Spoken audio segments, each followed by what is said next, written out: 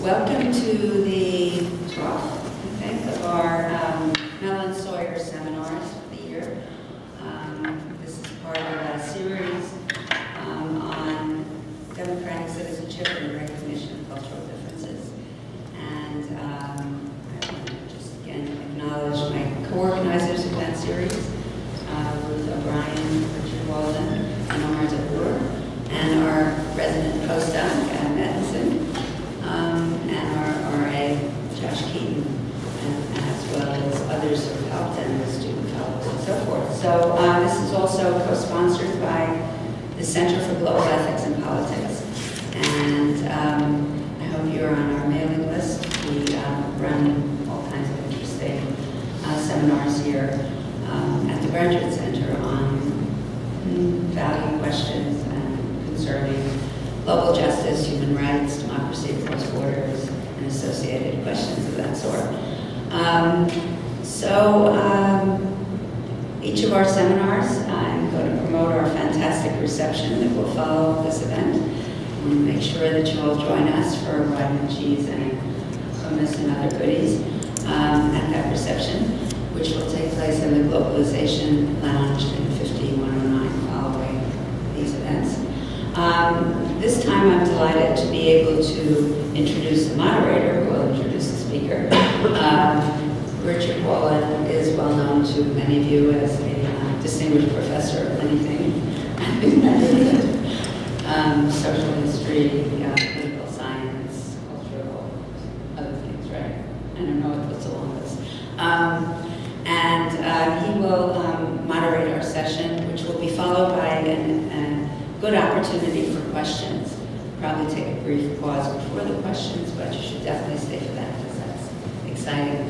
Um, we're being videotaped, so keep that in mind when you ask your question. Okay, and like invite Richard Wolin to introduce our distinguished speaker.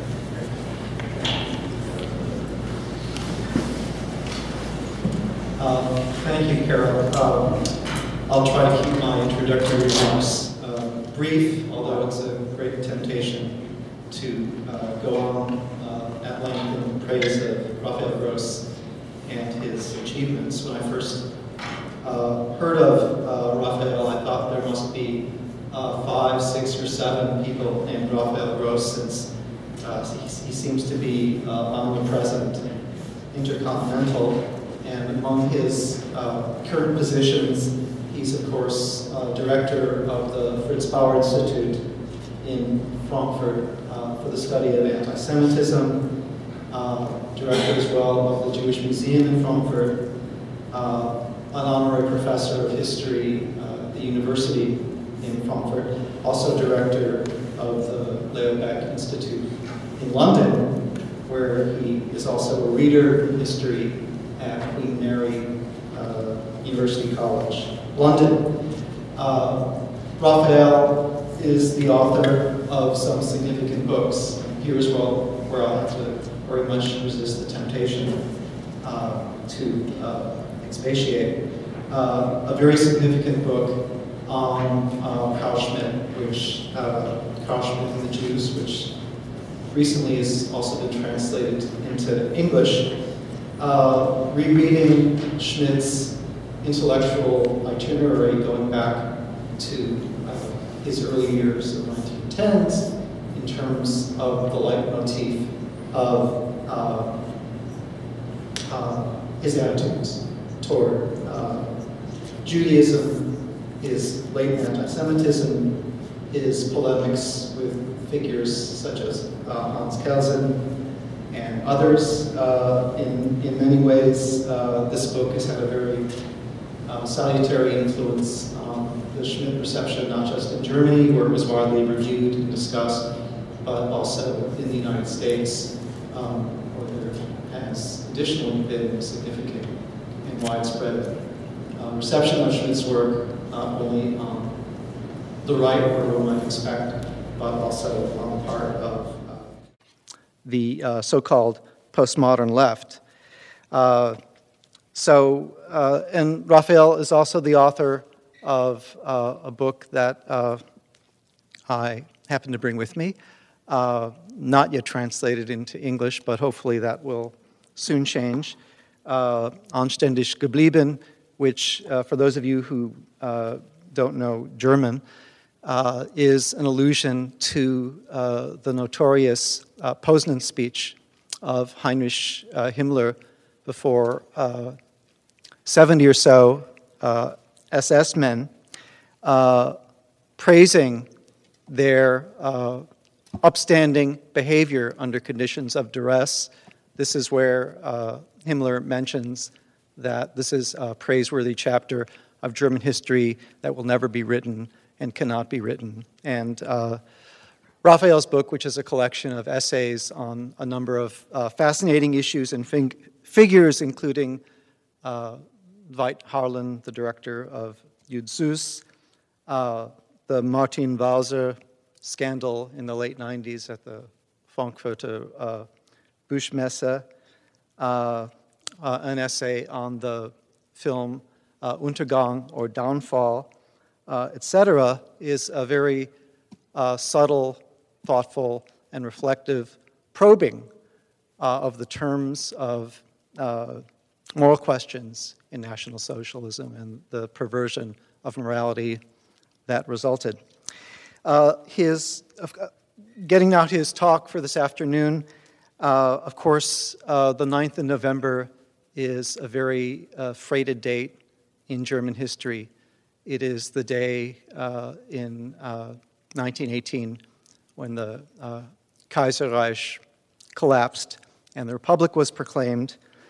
Uh, five years later, it is the day of uh, Hitler's unsuccessful Munich beer hall putsch, and more recently, it is the day in 1989 of the collapse uh, of the, the fall of the Berlin Wall but also, uh, perhaps certainly of equal significance, it is the date of uh, Kristallnacht. And Raphael will be uh, presenting a paper on the role of uh, Herschel Grünspan from a forthcoming book uh, on this topic that will be appearing with uh, uh, C.H. Beck Press. And uh, without further ado and resisting all further temptations to praise him and comment further on his work, I'm very happy to present to you today Raphael Gross.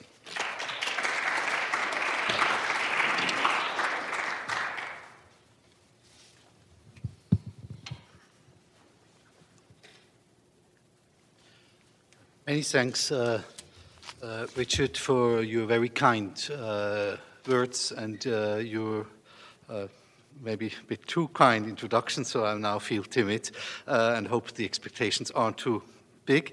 Uh, many thanks, uh, Professor Carol Gould, for the invitation too, uh, to both of you. Uh, it's a great honor for me that you've invited me and a great pleasure to be here tonight. Um, and uh, also want to thank the Mellon Seminar that has been behind uh, the structure behind this series of lectures. I'm very glad uh, that you invited me. Um, I would also uh, like to mention that uh, uh, I, I, feel very glad that uh, there is a, a group of um, friends from the Leo Baeck Institute, New York, here present tonight. Uh, among them, uh, Bernie Bloom, who was the former chairman, in my view, the most successful chairman that the Leo Baeck Institute maybe have had, but hopefully there will be equally good ones to come uh, and the new director, Billy Weitzer, and uh, Frank Mecklenburg, um, who are both here. So thanks for coming, attending tonight. Um, and I will immediately start uh, to get into uh, my paper now. Um, and I hope you will not be disappointed that I'm not talking about the Kristallnacht, really. I'm really talking about Herschel Grünspan.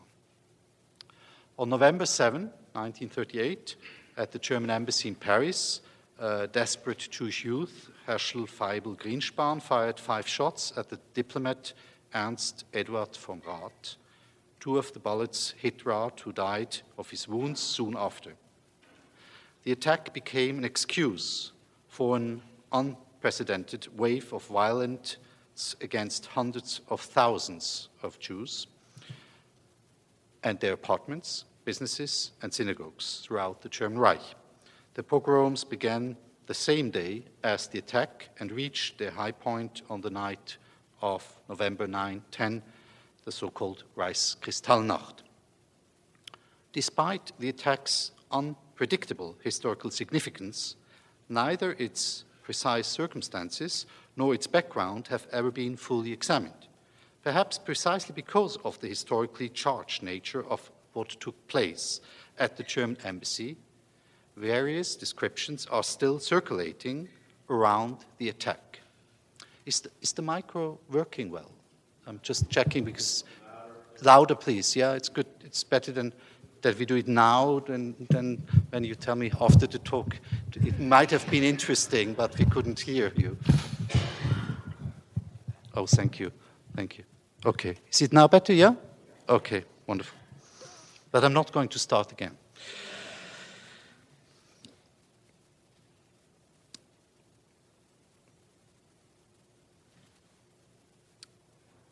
Perhaps precisely because of the historically charged nature of what took place at the German embassy, various descriptions are still circulating around the attack, its preliminary history, and Grynszpan's fate.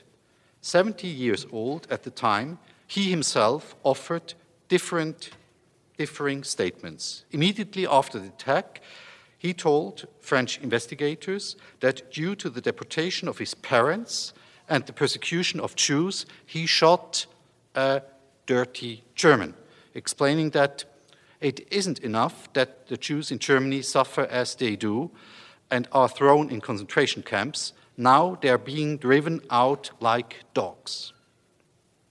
The next day, he started the following, he stated the following to an investigative judge, I quote, But I would like to emphasize that I acted neither out of hate nor revenge, but for the love of my father and my people, who are enduring unheard of suffering. I deeply regret having hurt a human being, but I had no other means to express my will. According to these statements, Grynszpan's motive was despair and rage at the Nazi measures of disenfranchisement and expulsion. But when in July of 1940 he was extradited by French authorities to Germany, another motive suddenly emerged in conjunction with a new preliminary history. He now asserted that he had had a homosexual relationship with Rath and shot him because of a promise Rath broke to help Grynszpan's family in Germany. The change in his explanation is likely to have been tactically based. For Propaganda Minister Goebbels and Foreign Minister von Ribbentrop, an act of revenge in the homosexual milieu of a German embassy would have conceivably been an awkward scenario for the show trial they desired. The Nazis were interested in propagandistically transfiguring Rath into a luminous figure who fell victim to an international Jewish conspiracy. Hence, Already on November 8, 1938, Wolfgang Diewerge, who was active in the propaganda ministry, wrote as follows. The shots fired in the German embassy in Paris will not only signify the beginning of a new attitude in the Jewish question, but hopefully serve as a signal for those foreigners who until now have not realized that in the end only the international Jew interferes with an understanding between nations. From the beginning, the assertion, the assertion of a world Jewish conspiracy stood at the center of Nazi reactions to the attack. By no means, as the su suggestion intended, was the attack directed solely against Germany and its increasingly brutal policy towards the Jews. Rather, it represented a world Jewish plot against all non Jewish peoples. Diewerge tried to back up this thesis in a book he published in 1939, whose title translates as Attack Against Peace, a yellow book about Grünspan and his accomplices. The propagandistic aims of the official Nazi apparatus are thus clear. But who was Herschel Grynszpan? who, following an ordinance issued by Goebbels in 1938, continues to be referred to by many authors as Grünspan, and what did his deed set in motion? Herschel Grynszpan came from a Polish Jewish family that lived in Germany from 1911 on. His parents, Sendel and Rivka Grynszpan, born Silberberg, fled from Western Russia to escape the Tsarist Empire's pogroms.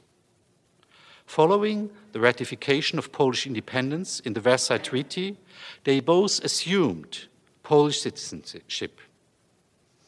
Herschel Grynszpan, the couple's sixth child, was born on March 28, 1921, in Hanover, so he could still be alive. Without ever having possessed German citizenship, his socialization was exclusively German.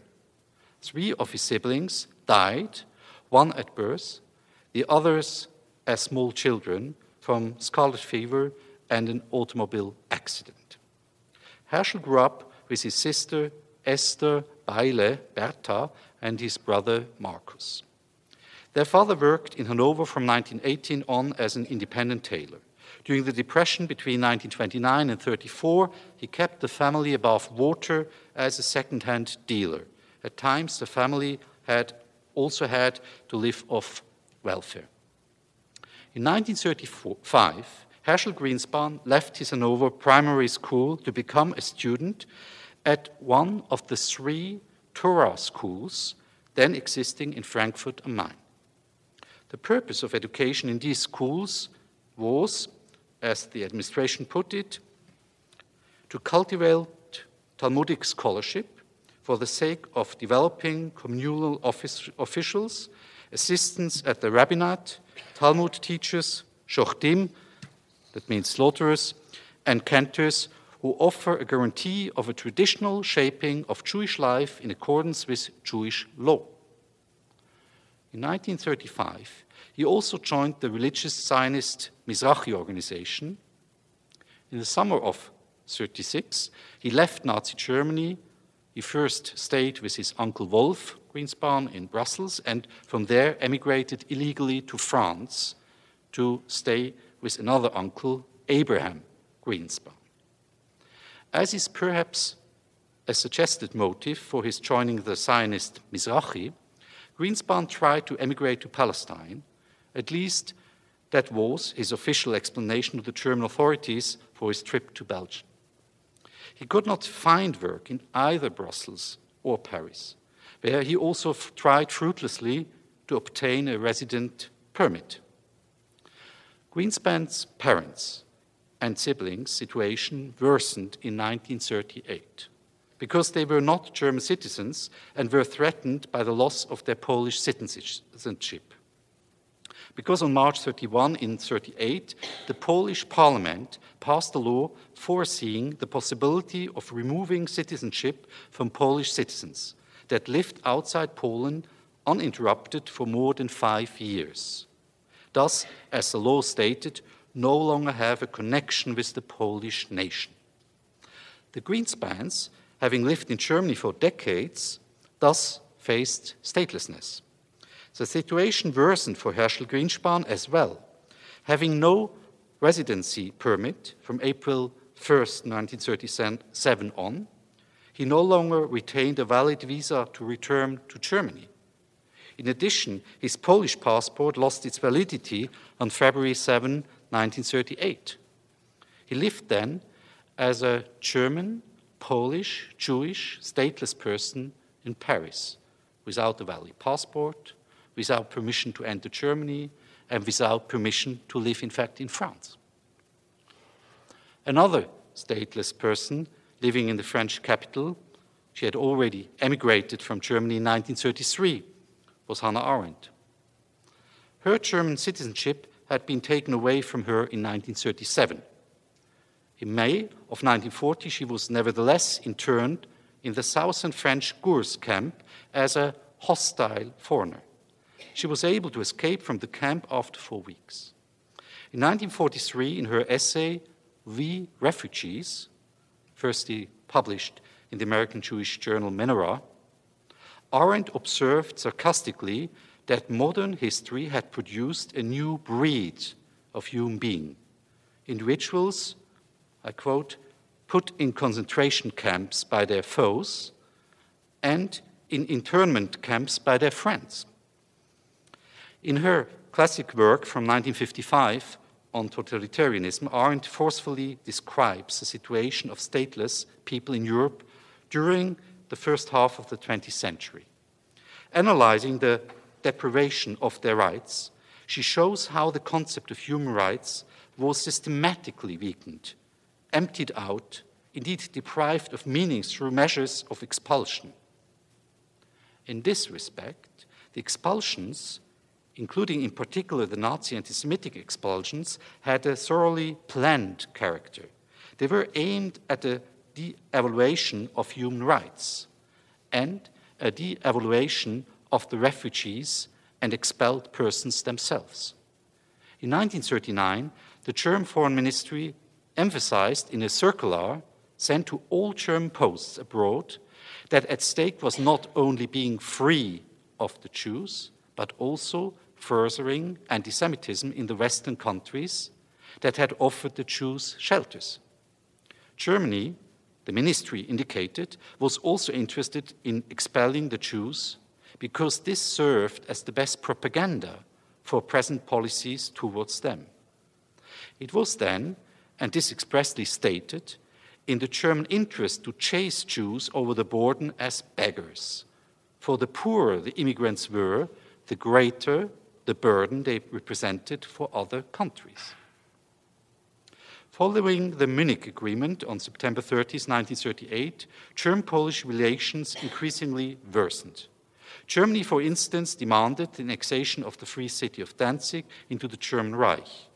And Poland feared that the Jews who were living there would be expelled to Poland.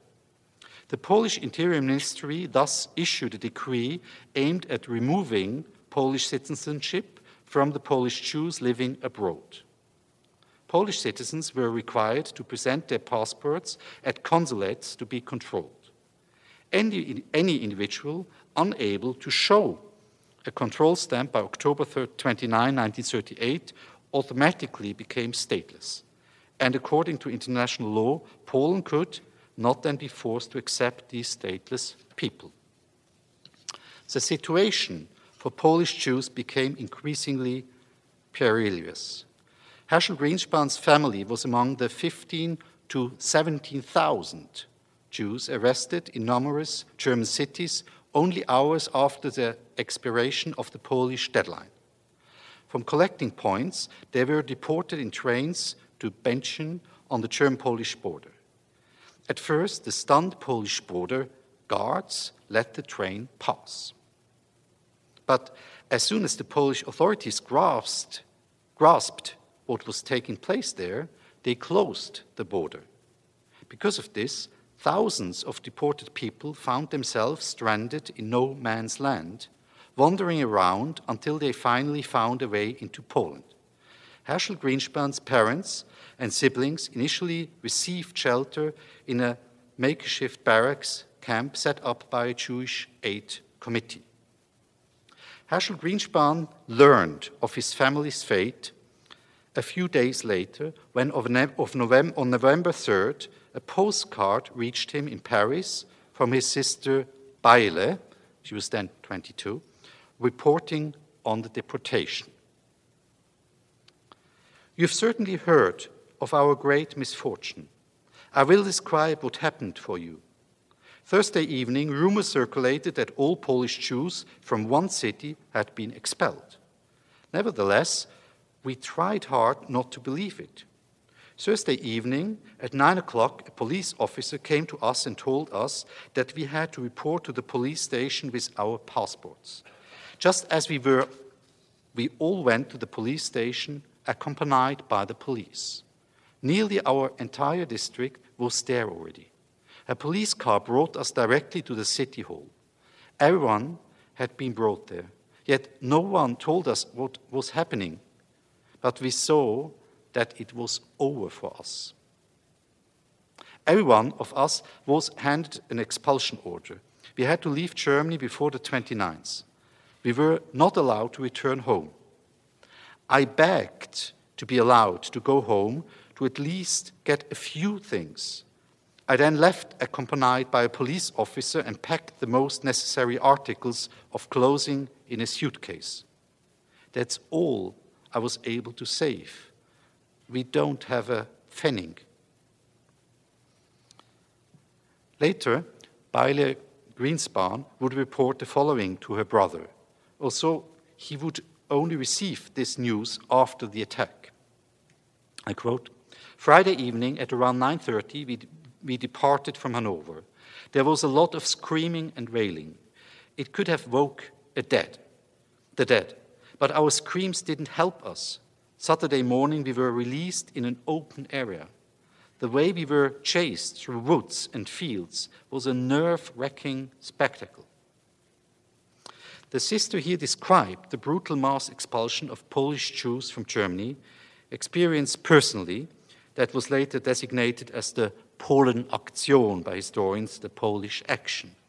The news brought tension between Herschel, who it clearly hit very hard, and his uncle Abraham, who was not immediately ready to send money to an unknown place to help his brother's family. Finally, on November 6th, Herschel Grynszpan left his uncle with 320 francs in his pocket and rented a room at the Hotel Suez on the Boulevard de Strasbourg under the false name of Heinrich Hallert. Historical accounts of Grynszpan's, Grynszpan's deed are aligned with one or another of the two differing statements he offered concerning his motive. Did he fire on Ernst vom Rath purely coincidentally, or did he deliberately seek him out? What is indisputable is that on November 7, 1938, at around 8.30 in the morning, he purchased a double-action revolver and bullets at the weapons store à la fin lame, at the sharp blade, for 245 francs. At the Tout va bien bar in Wolfgang Diewerge's Yellow Book description, a meeting point for Jewish youth, described by other sources as a homosexual locale Herschel Grynszpan sometimes frequented it. He loaded the gun, placed it in his jacket pocket, then set out to the German embassy, 78 Rue de Lille.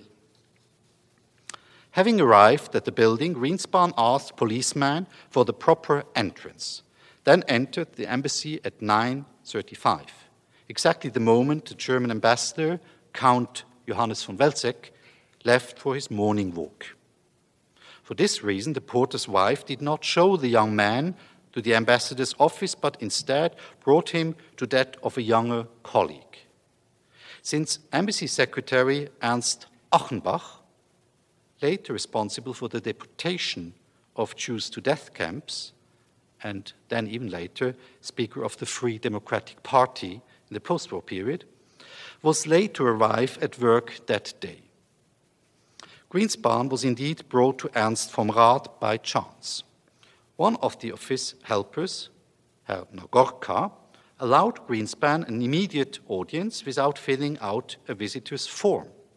Such details, likely involving pure coincidence, would become the subject of far reaching speculation. Was Grynszpan admitted because he was already a familiar presence? As already mentioned, two of the five shots Grynszpan fired at 9.45 hit Ernst vom Rath. Staggering, he was able to call for help. The assassin then allowed himself to be led away with no resistance by the office helpers, who turned him over to the French police official stationed in front of the embassy, while Achenbach saw to the wounded man. On November 8, Count Welczeck reported to Berlin that, I quote, Herr vom Rath was bleeding from two wounds, one of which was in the area of the breastbone, the other in the lower body. He complained of severe pain. I would like to state here in that he bore these pains with great steadfastness, and that he had at no time lost his exemplary calm and self control. In reply to a question of Embassy Councillor Breuer as to what led to the attack, he indicated that the perpetrator was a Jew and had explained as he fired that he wished to avenge his co religionists. Herschel Grynszpan had already depicted the context of his deed at the embassy. I was then led into an office and received by an attaché who offered me a chair to his left. He inquired about the reason for my visit. I told him, You are a dirty German, Salbosch, and now I'm going to deliver you a document in the name of 12,000 bullied Jews. I drew the revolver I had hidden in the inside pocket of my jacket and fired. The moment I drew the weapon, the attaché stood up from his chair, but I immediately fired all my bullets. I aimed at the middle of his body. My victim hit me with his fist and left the room calling for help. I remained in the office where I was arrested a few moments later. I received the postcard found in my briefcase on Thursday, and from that moment on, I was determined to kill an embassy member in protest. I knew about my co religionists' obsession from the papers. Oppression, sorry, oppression from the papers. That is the only reason for the steps I took. That was Herschel Grynszpan's statement immediately after the deed. But as indicated, according to the extant records to, of the additional interrogations, the information he offered was contradictory. In the second hearing, he declared, for instance, that, I quote, I then conceived an act of revenge and protested aimed at the representative of Germany without intending to kill anyone but I wanted to take a spectacular step so that the world would know about it because the German methods make me bitter. He expressed himself similarly in a letter he wrote to his parents while in pre trial detention. You have probably already heard about me. I ask you forgiveness. I did not intend to kill anyone. I only wanted to protest I would have preferred that this poor person had not died. But unfortunately, he died. Let God, he puts the uh, O in, he doesn't write God, but like an Orthodox Jew, he writes just G, the T. Uh, let God forgive me for what I have done. It was no revenge. I was only done out of my love for you and our suffering brothers and sisters who have to endure injustice simply because they are Jews.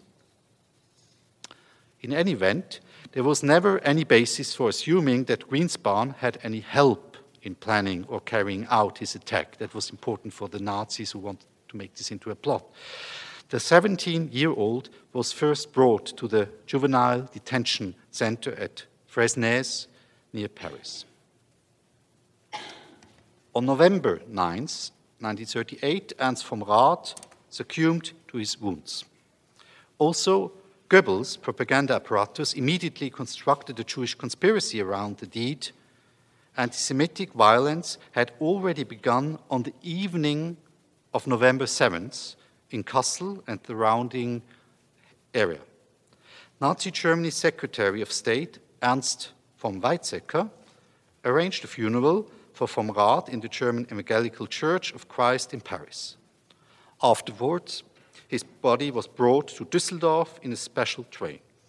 The state burial for the new and evidently welcome martyr of the Nazi movement took place there on November 17th in the presence of Adolf Hitler and Joachim von Ribbentrop. Let us note in passing that despite all propagandistic efforts, Ernst vom Rath, who was born on June 3, 1999, in Frankfurt am Main, was not particularly well suited for this martyr's role. Also, he had already joined the Nazi Party on July 14, 1932, and the SR in April of 1933. His enthusiasm for National Socialism appears to have quickly abated. The reaction to vom Rath's assassination was were varied. In Paris, Herschel, Grynszpan's manifest wishes notwithstanding, it emphatically did not spark any general solidarity with the Jews whom the Germans were persecuting. On the contrary, numerous anti Jewish brochures and pamphlets collected by the German authorities show that anti Semitic gatherings were held at a number of locations. One of the pamphlets called for an anti Semitism of reason and applauded its spread in increasing circles of French society. A week after the German diplomat's death and the outbreak of violence in Germany on the night of November 9th to 10th, the World Jewish Congress reacted with a declaration that also certainly the deed of the 17 year old was regretted. The organization wished to also protest that the German press that were holding all of Jewry responsible for the act and that corresponding retaliation acts were being carried out against German Jews. Herschel Grynszpan received support from the famous American journalist Dorothy Thompson, who was herself non Jewish. In a radio broadcast and some of her columns in the New York Herald Tribune, she called for establishing a fund for the youth called Give a Man a Chance. By these means, $35,000 were collected for his defense. Thompson was the object of sharp criticism for this in both Germany and France. One anti Semitic pamphlet commented as follows This manner of dictating to the French state administration shows an impudence that is nothing less than admirable. How about concerning yourself with your Negroes instead? Wie wäre es, wenn Sie sich um Ihre Neger kümmerten? Also, some people expressed solidarity and understanding for Grynszpan. Virtually no one publicly voiced moral approval of his action. One of the few voices that I found to do so was Leo Trotsky, who in early 1939 wrote in the Socialist Appeal newspaper that, from the moral standpoint, and not in respect of his methods of action, Grynszpan can serve as a model for every young revolutionary. Following the attack, a preliminary investigation of the Grynszpan case began in Paris.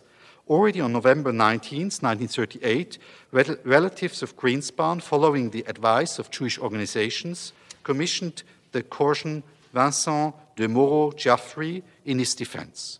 The famous lawyer, anti fascist, and other French Jewish socialist Premier Pierre Mendès France had already represented David Frankfurter, who on February 4, 1936, had shot and killed the Nazi Landesgruppenleiter, regional group leader Wilhelm Gustloff in Davos. The newspaper, the Angriff, which ties to the SS, would denounce Moro-Giafferi on the same day as a Jewish advocate on the payroll of the international Jewry. In the course of the nearly nine months investigation headed by investigating Judge Jean Tesnière, three medical reports were prepared on Grynszpan's personality. He was thereby attributed to have an average intelligence and a certain acuteness, as well as the capacity to understand culpability the extremely agitated state that overtook him following his family's deportation should not, the doctors indicated, be evaluated as pathological. Nevertheless, what was involved here, they added, was a crime of passion. They suggested an acknowledgement of mitigating factors. From the beginning, the investigation was subject to massive and in part rather successful, German efforts to influence the outcome. Berlin thus sent two special emissaries to be present during the process and represent German interests the jurist Professor Friedrich Grimm and the already mentioned Wolfgang Diewerge. Grimm acted at the direction of the German Propaganda Ministry and Foreign Office. During the trial, he would appear as a representative of the accessory prosecution hence for the von Rath family. Officially, he served as an associate to the French lawyer Maurice Garçon, whom he had chosen together with Mar Maurice Blanc-Gall as representative of the accessory prosecution for Ernst vom Rath's parents. Wolfgang Diewerge was commissioned at the highest political level, his task being to let the press campaign and present the attack as having been planned well in advance. As already described, Grynszpan was declared a tool of international Jewry which aimed to poisoning German-French relations, and I quote, at the annihilation, the Vernichtung of National Socialist Germany. Diewerge had already adopted this strategy following David Frankfurter's attack on Wilhelm Gustloff. That individual was immediately stylized as a martyr of the movement, and Frankfurter as a tool of a pan-Jewish plot to oppress non-Jewish peoples. At the meeting of the German Propaganda Ministry on 11 November 38, the same procedure was decided upon for the Rath Grynszpan case. The investigation of the attack was drawn out. As a result of the Nazi expansion policies, for instance, the occupation of Rum Czechoslovakia in March 39, soured German-French relations so that the Germans pressed for a postponement of the trial date. After Germany's attack on Poland on September 1, 39, the trial planned for autumn was once again postponed. France and Germany were now at war. That the trial was yet again postponed in the autumn was in the end in Germany's best interest, as Grynszpan's acquittal was likely due to political circumstances. Herschel Grynszpan and his defense team were well aware of this. In a letter to the French Justice Minister, written in late September 39, he requested to serve as a volunteer in the French army. I quote, With my blood, I would like to avenge my wrongdoing, thus atoning for the disagreeable, disagreeable repercussion I caused the land that offered me its hospitality. The request was rejected.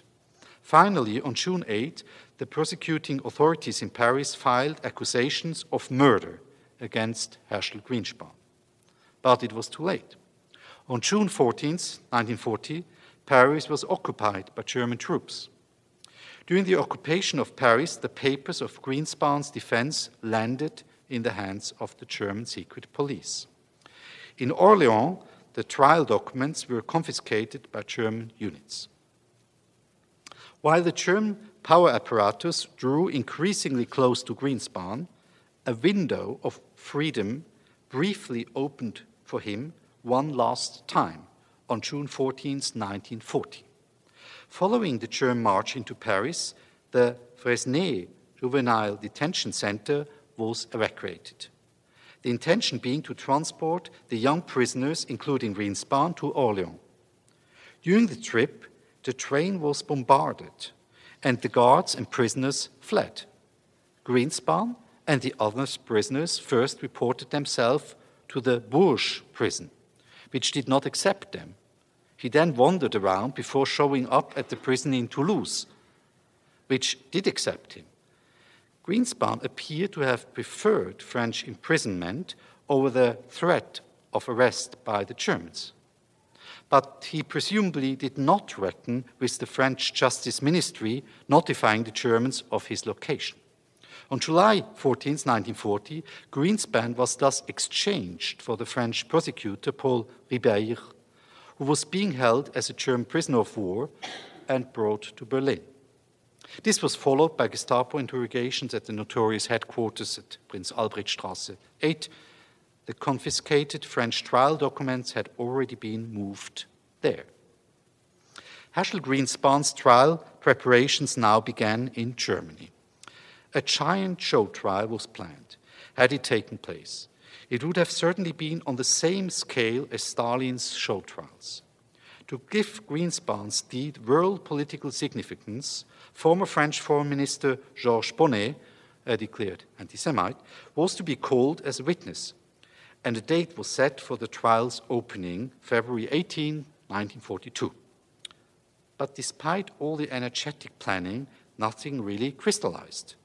In January 1941, Grynszpan was sent to the Sachsenhausen concentration camp as a so called prominent prisoner and the trial was rescheduled for the 11th of May 1942. But this trial date also came and went. In the early summer of 1941, Grynszpan was moved to Berlin's Moabit detention center. Ernst Lautz now preparing charges of murder and high treason that were meant to result with the pronunciation of a death sentence at the Volksgerichtshof, the notorious People's Court presided over by Roland Freisler. The trial had now been rescheduled for the autumn of 1942, but then the preparations were interrupted. It appeared on Hitler's personal orders and was never resumed. Hence, just as in France, also in Germany, Herschel Grynszpan never stood trial. Probably plans to present the attack as a deliberate assault by world Jewry on German Aryan existence were deemed too problematic because of the possibility that Grynszpan could declare at trial that he had served the homosexual Ernst vom Rath as a hostler or procured hostlers for him. At that point, since no trial was to take place, at least during the war, in the summer of 42, Grynszpan was sent to Sachsenhausen, where all the records of his existence disappeared. Fellow prisoners claimed they saw him in August of 1942 for the last time. Following the deportation, Grynszpan's parents and his siblings, Marcus and Bertha, were able to flee to Russia in November 38. They survived the Holocaust there. Marcus Grynszpan served in the Red Army. The last sign they had of Herschel was a Red Cross letter sent in 1940. After the war, they searched fruitlessly for him for many years. During the post war period, the discussion of Herschel Grynszpan's fate never completely died down. In 1957, the historian Helmut Heiber suggested in the prominent German quarterly of modern history, die Vierteljahrshefte für Zeitgeschichte, that Grynszpan was living in Paris under a false name a rumor that would then repeatedly surface in various forms. There was already a sequel to the German case, to the Grynszpan case in 1953, when Michael Graf Soltikow, a journalist for glossy magazines who claimed to have been active for the German resistance during the war, declared in two articles he wrote for the Nuremberg magazine Wochenend that Grynszpan and vom Rath had indeed had a sexual relationship, and that Grynszpan's homosexuality was the reason he stayed in hiding after the war. The vom Rath family was extremely annoyed by these assertions.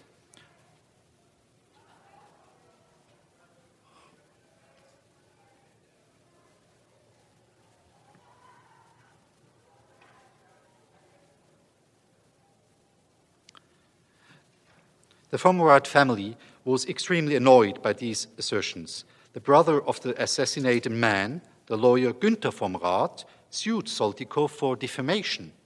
We should keep in mind that in 1950s Germany, homosexuality was not only considered a moral offense, but was, as in the United States, because of state sodomy laws, a punishable act. During the course of the trial, which took place before the Munich District Court in 1916, Wolfgang Diewerge re-emerged on the scene. Under oath, he declared that he only heard of a motive for the attack based on a sexual relationship between Rath and Grynszpan later on, and that at the time of his involvement, he personally knew of nothing in that respect.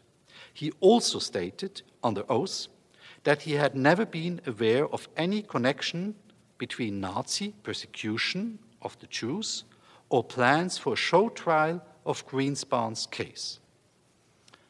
This was manifestly a lie and had its own sequel. In 1966, the District Court of Essen opened its own proceeding against Wolfgang Diewerge, charging him with perjury Soltikow took the stand in this trial as well and maintained to be in contact with Herschel Grynszpan through a middleman, something that could never be verified and that was most likely a lie too. Diewerge was in any case sentenced to a year in jail on account, on account of perjury.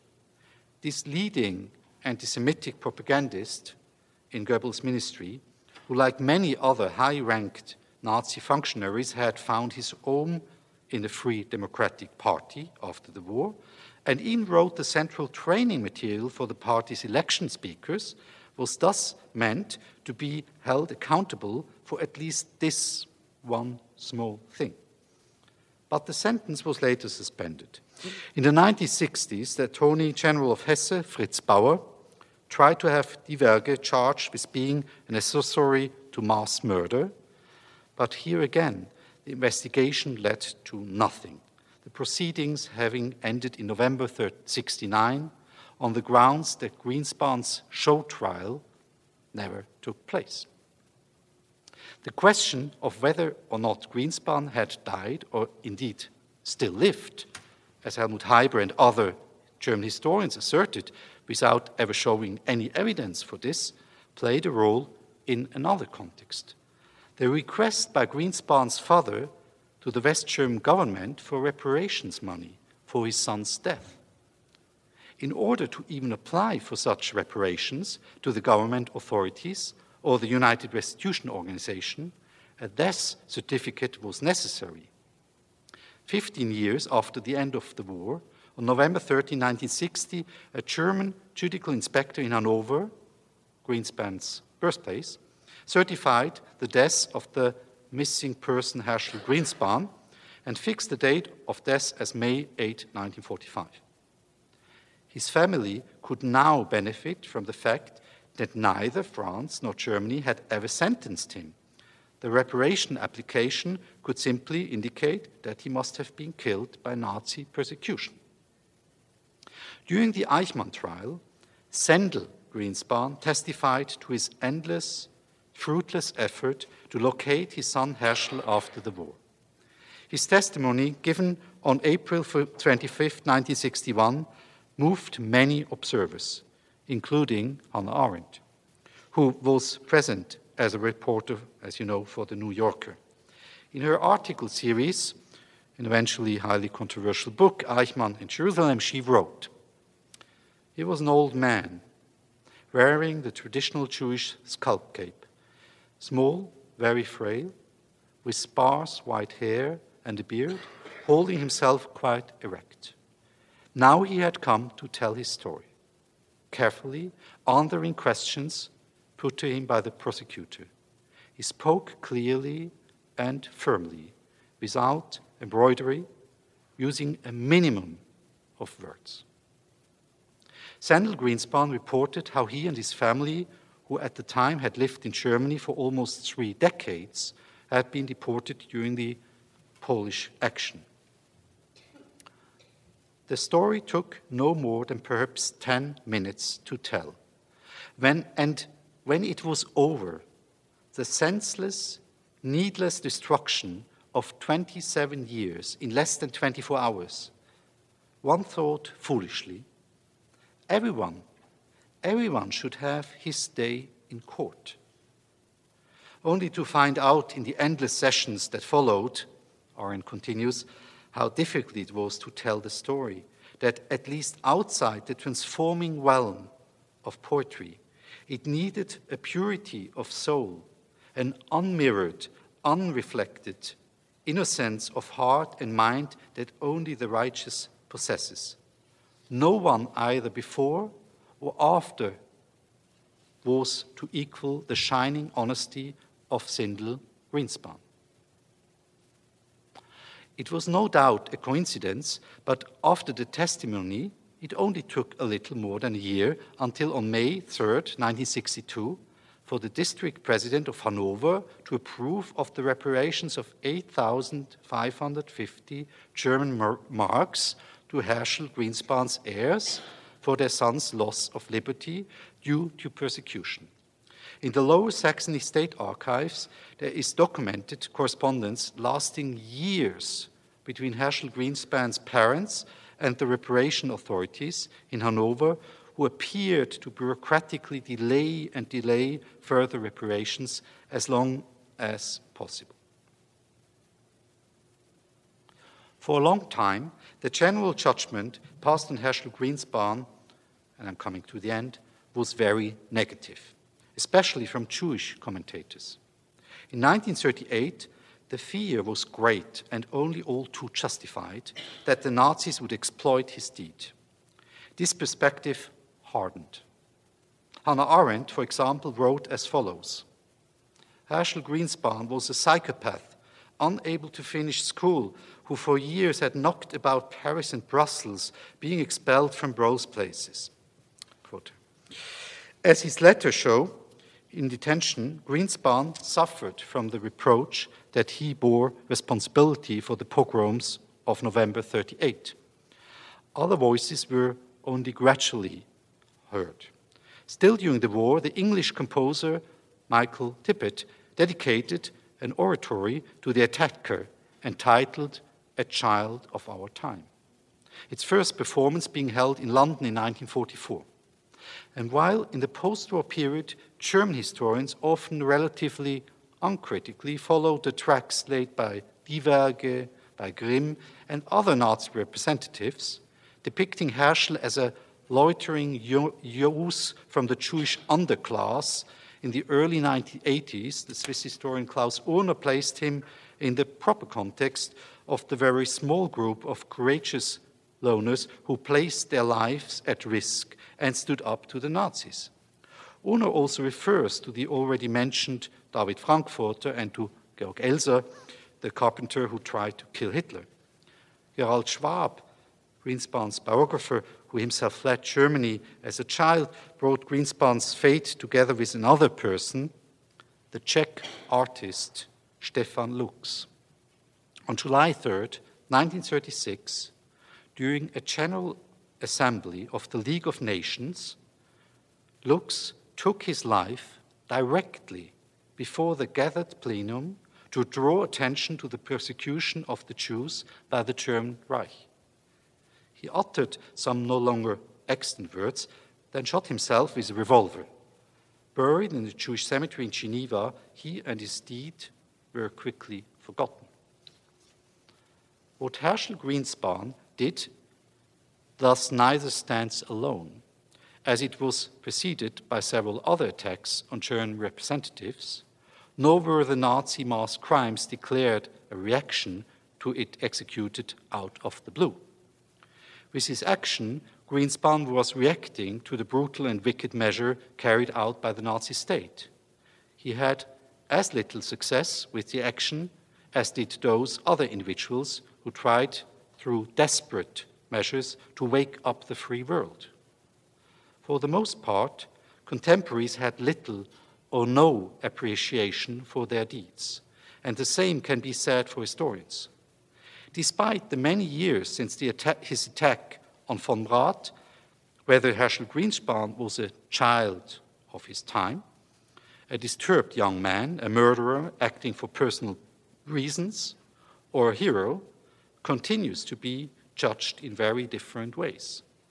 In any event, he belongs to the many human beings rendered stateless who, as Anna Arendt put it, were declared the dregs of mankind, and whose fate continues to be of acute concern in view of the expulsions that are continuing today. Thank you.